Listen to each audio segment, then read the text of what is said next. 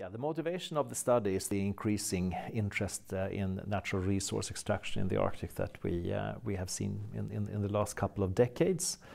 Uh, and the fact that uh, extractive industries don't last forever. All mines eventually come to an end. Uh, so when thinking about the future of uh, extractive industries in the Arctic, we have to think of what will happen once these extractive industries have ended and communities built around those uh, extractive industries need to uh, transition to something different.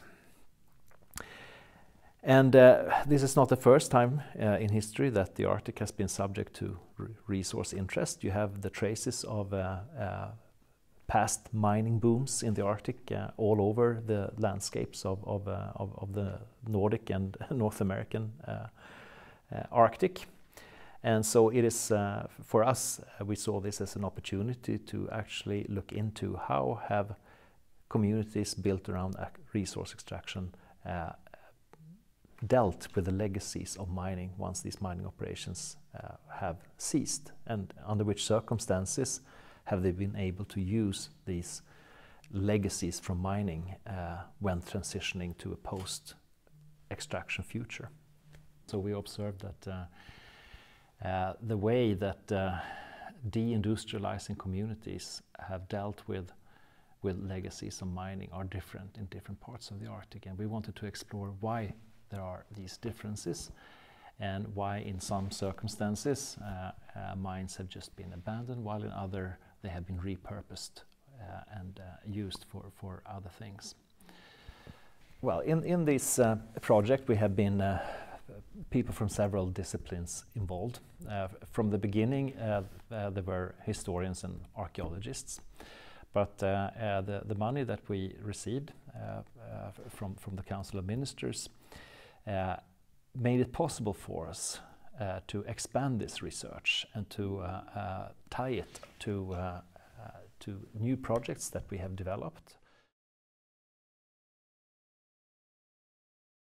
we have not, so far not found uh, any cases of a mine that is actually abandoned. These abandoned mines are never really abandoned. Uh, they are, uh, uh in all cases, subject to different types of, uh, of reuse and reinterpretation and uh, remaking. So, like Kiruna, you have had mining there since about year 1900, and also older mining in the form of, of prospecting. And, uh, and the same goes for Malmberget. From the 1880s and even earlier, you have abandoned mines and you also have ongoing mining operations. And these mining companies that operate there, they, they are um, heavily engaged in, the, uh, in thinking of their, uh, the legacies of their former mining operations as heritage. Uh, another uh, value in, in, in, in, their history and in their heritage is uh, uh, towards the public. There's a lot of, there's a growing criticism of the mining industry. Uh, in particular in, in, in, uh, in, where you have new mining projects that interfere with other types of land use, but you also have potential uh, tensions in places like Kiruna and Malmberget where the mining company is moving the towns to new locations, which means that people have to, you know, abandon their homes and move somewhere else. So it's uh, in these cases uh, uh, people put up with this and are supportive of this because they know that this mining company has provided the means of income and jobs for, for over a hundred years and they can do so also in the future. For the municipalities, uh, in this in, in northernmost Sweden. Uh, they also know that uh, mining is not going to last forever. Uh, they are uh, concerned with the need for uh, diversification, to have other lads, legs to stand on once the mines have closed. And tourism is, of course, one of these legs. it also has to do with, with the quality of living, because many people who have, for generations now, uh, been uh, working in the mines or working for the mines. They feel a sense of connectedness with the mines. They have a, a family history of working in the mines, uh, a sense of pride, uh, of local identity.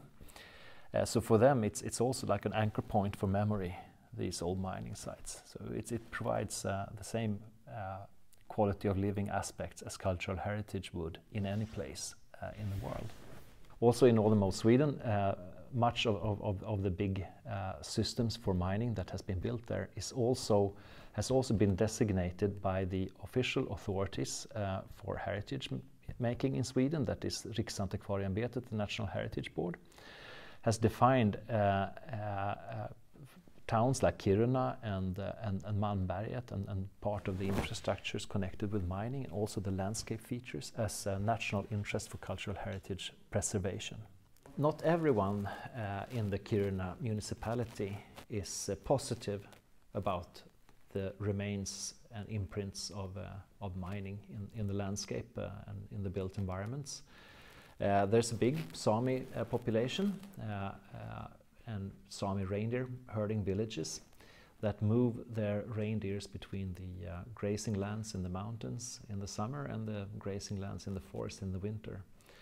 And to bring their reindeers from one place to the other, they need to pass uh, these big tailing ponds, uh, open pit mines, uh, and uh, transport infrastructures related to mining. These mining landscapes that some people think of as, as, as a heritage is to them a, a physical um, um, barrier and something that scares the reindeers and creates a lot of, of, uh, of, of, of problems.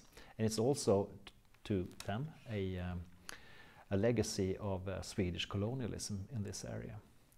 If we then move to Greenland, the situation is completely different. Uh, there you have the National uh, uh Museum of Greenland, uh, who is responsible for cultural heritage preservation.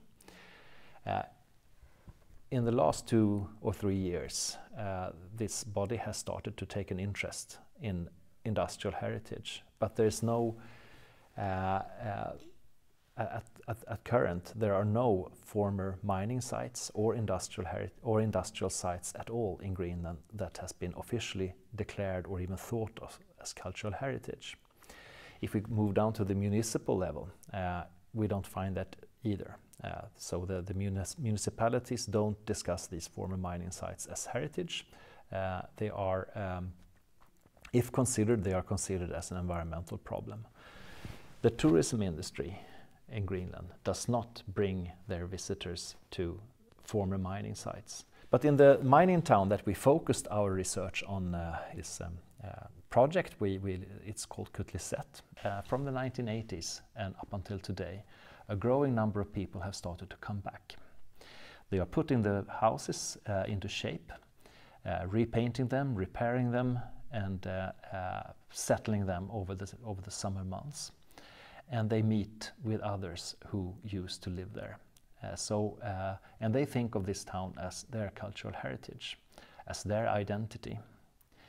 they have gatherings where they play music, they look at photo albums and exchange memories, or just simply uh, live there uh, to experience some of the, uh, re-experience some of the feeling that it was to, to live there. So they connect with this place. And it is also a form of heritage making, but it, this is what we call unofficial heritage making. In Svalbard, the mining industry is now closing down. So both Norwegian companies and um, Russian mining companies and the state authorities behind them are are in the process of thinking of new ways of uh, using these settlements that they have on Svalbard.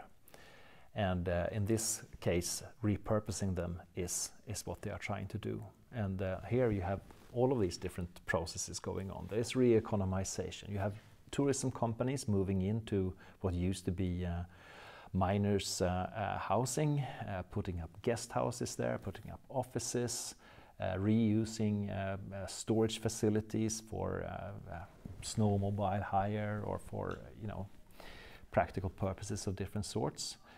Uh, you have a heritage legislation on, on uh, Svalbard uh, deeming everything that is older than 1946 as automatically protected cultural heritage. That includes a lot of the abandoned mines.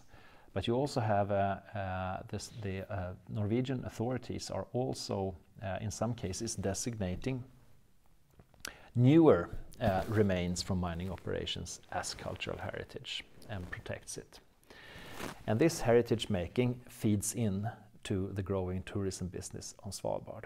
When thinking about how to deal with the legacies of abandoned mines, uh, you, th there is a need to think more broadly than just saying, well, let's, uh, let's bring back the landscape and these sites to their original state, which is required in most mining legislation today. Uh, first and foremost, uh, once you have transformed the landscape from mining, it will never look the same as it did before you started mining. If you want an untouched landscape in the Arctic, don't mine. If you start a mine, then try to think of, of, uh, of, of, of, something more creative than just thinking that you can erase the traces of mining, because that will never happen. In all cases, you always need to take care of the uh, toxic waste that comes from mines. That is an absolute necessity. Uh, the toxic waste will destroy livelihoods for people, but not necessarily buildings that were built to house workers or roads that were built to transport things. Uh, th these uh, these uh, infrastructure and these buildings can, in, in many cases, provide new value that can be used as building blocks for, for what has to come afterwards.